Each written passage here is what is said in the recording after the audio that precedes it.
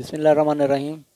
ناظرین، میں ہوں Muhammad Ashiq senior scientist agronomy Ayub research Faisalabad. تو گلابی سنڈی نے آپ کو پتہ ہے کہ کپاس کو فیل کرنے میں سب سے زیادہ اہم رول ادا کیا ہے۔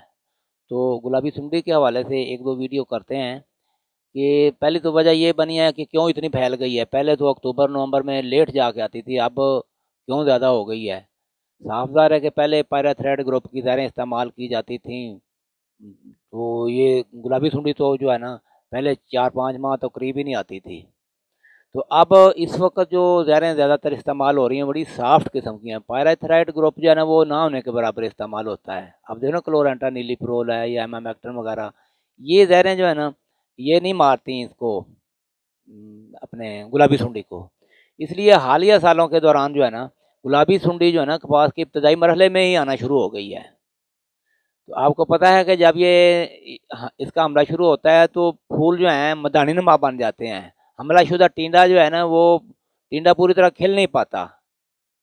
بلکہ آپ نے دیکھا ہوگا کہ جب کپاس پک بھی جاتی ہے، ساری ختم ہو جاتی ہے تو کچھ ٹینڈے کپاس کے ساتھ ہی لٹکے رہ جاتے ہیں۔ وہ گلابی سنڈی کے اٹیک کی وجہ سے یہ صورتحال بنتی ہے۔ بہرحال کپاس کی کوالٹی خراب ہو جاتی ہے اور پیداوار جو ہے نا وہ بری طرح متاثر ہو جاتی ہے۔ آج کل یہ دیگر سنڈیوں کے مقابلے میں زیادہ خطرناک کیڑا بن چکا ہے۔ یہ اس حد تک نقصان دہ ہو چکا ہے کہ کاشتکاروں نے مایوس ہو کر کپاس کی کاشت ہی ترک کر دیا ہے۔ دیکھیں، اس کا پروانہ جو ہے نا، دیگر سنڈیوں کے پروانوں کے مقابلے میں بہت چھوٹا ہوتا ہے۔ اور شام کے وقت نچلی پتیاں جو ہے نا، اس کی پھول کی، ان ان پہ انڈے دیتا ہے۔ ٹنڈے کے اندر داخل ہو جاتا ہے۔ پھول کا بالکل ابھی ابتدائی حالت میں ٹنڈا ہوتا ہے تو اس وقت اس کے اندر دو گھنٹے کے اندر ہی یہ داخل ہو جاتا ہے۔ پانچ سے آٹھ دن کے اندر جو ہے نا، وہ سنڈیاں نکل آتی ہیں اس کی انڈے سے، جو ٹنڈے میں ٹنڈے میں سوراخ کر کے ڈیڑھ دو گھنٹے کے اندر ہی داخل ہو جاتی ہیں۔ تو اب سوال یہ پیدا ہوتا ہے کہ اس ڈیڑھ دے دو دو گھنٹے کے دوران کوئی سپرے ہو تب جا کے یہ اس کو کنٹرول کیا جا سکتا ہے، ورنہ یہ کنٹرول ہی نہیں ہو سکتی۔ تو سنڈیوں کا جسم، آپ کو پتہ ہے کہ بظاہر تو جب سنڈی نکلتی ہے، میں نے خود دیکھی ہے کہ یہ سفیدی مائل ہوتی ہے۔ لیکن ٹنڈے کے اندر داخل ہونے کے بعد جب خوراک کھانا شروع کر دیتی ہے تو اس کا رنگ گلابی ہو جاتا ہے، تو اس کو گلابی سنڈی کہا جاتا ہے۔ سپرے کا وقفہ بہت کم رکھنا پڑتا ہے۔ اب کتنی سپرے کریں؟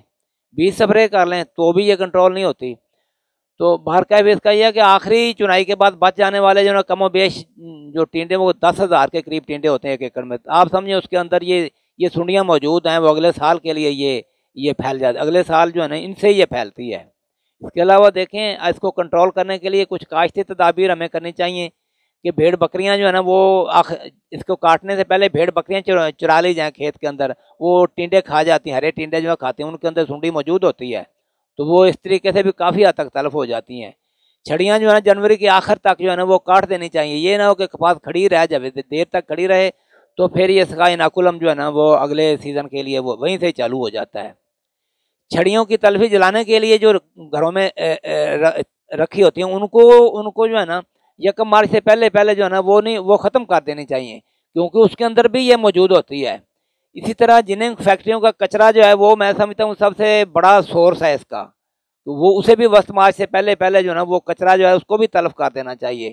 تو اس طرح کی تدابیر کر، کرنے کے علاوہ جو ہمیں پی بی روبس اور جنسی پھندے کا استعمال جو ہے نا، وہ بھی کرنا چاہیے۔ پھر یہ کسی ایک تدبیر سے کامیاب، کامیابی سے کنٹرول نہیں کی جاتی، بلکہ ایٹ اے ٹائم ایک سے زیادہ زیادہ کام کریں تب یہ کنٹرول ہوتی ہے۔